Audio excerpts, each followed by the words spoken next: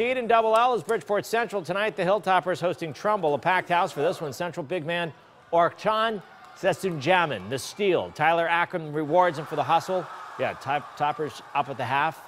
Add to it. Eagles have a good team, just couldn't match shots off the miss. Akram up court to Shaquan Breteau.